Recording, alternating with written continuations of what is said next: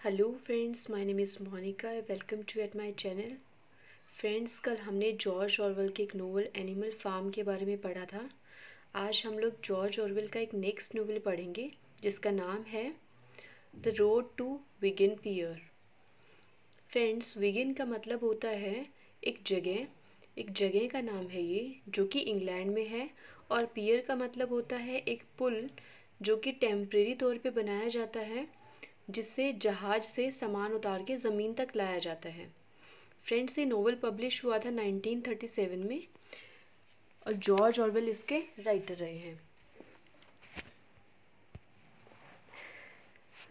Friends, ये two parts में divided है।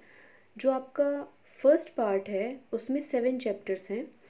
उसमें हर एक चैप्टर में कुछ ना कुछ डिफरेंट चीज़ें डिस्क्राइब की गई हैं, जो कि कॉल माइनर्स के बारे में हैं। फ़र्स्ट चैप्टर में डिस्क्राइब किया गया है, आइए पढ़ते हैं। Chapter one. Chapter one describe करता है बुकर फैमिली के बारे में और उनकी वर्किंग कंडीशन के बारे में। बुकर फैमिली कोल माइनर का काम करती है, जो कोयला खदानें होती हैं, उनमें से कोयला निकालने का काम करती हैं।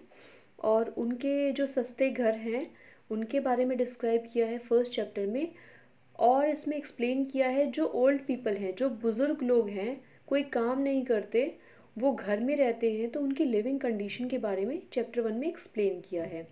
Now chapter two chapter two describes about the coal miners and their conditions chapter two में ऑरवेल खुद बताते हैं कि वो कोल माइन में गए और उन्होंने वहाँ जाके बहुत करीब से कोल माइनर कोल माइंस को और कोल माइनर्स को ऑब्ज़र्व किया कि ये काम वाकई कितना मुश्किल है। ऑरवेल ने इसे नर्क कहा है। ऑरवेल ने कहा है, आप नर्क के बारे में, आप हेल्थ के बारे में जो कुछ भी इमेजिन कर सकते हैं, सब कुछ वहाँ कोल माइन में आपको मिलेगा, कोयले की खदान में आपको मिलेगा। आप अगर ह्यूमिडिटी गर्मी, आप अगर अंधेरा, कुछ भी ऐसा सीलन वगैरह डिस्क्राइब कर सकते हैं नर्क के बारे में तो everything is in coal mine now chapter three chapter three में ऑरवेल डिस्क्राइब करते हैं, जो कोल माइनर्स हैं, उनकी फाइनेंशियल कंडीशन के बारे में और उनकी हाइजीन के बारे में। क्योंकि जो कोल माइनर्स हैं, उनको अपनी हाइजीन के लिए ना उतना फाइनेंशियल सपोर्ट मिलता है और ना ही उनके पास इतना टाइम है कि वो कोल माइन का काम करने के बाद, कोयला खदान में काम करने के बाद अपने आप को हाइजीन भी रख सके। नाव चलते हैं चैप्टर फोर की तरफ़।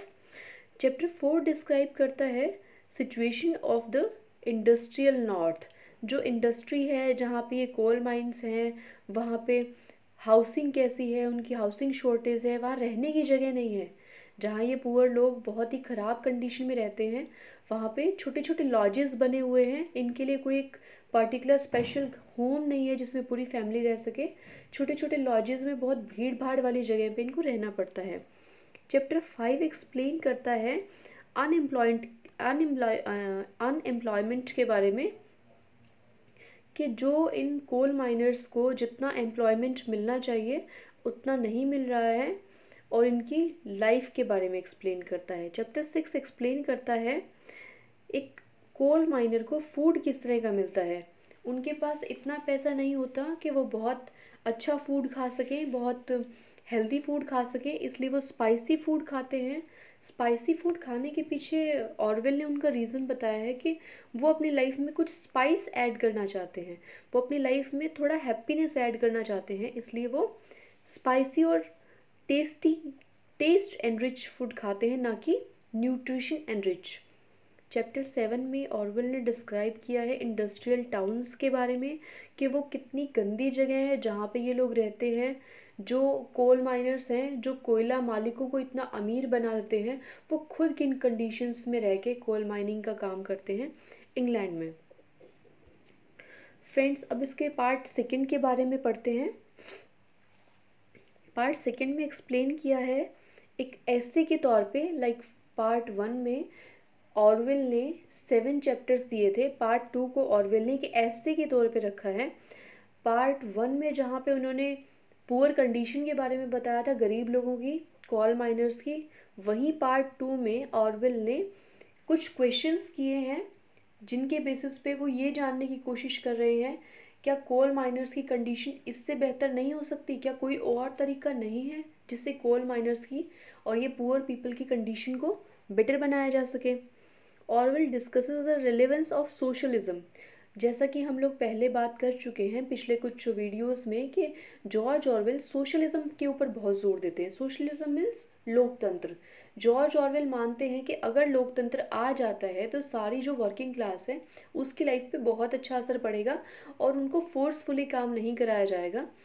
He states very plainly that he himself is in favor of socialism, but he feels it necessity to point out reasons why many people who would benefit from socialism George Orwell ये कहना चाहते हैं कि वो खुद socialism के favour में हैं और वो ये कहते हैं कि बहुत सारे लोग सोशलिज्म से बेनिफिट्स पा सकते हैं।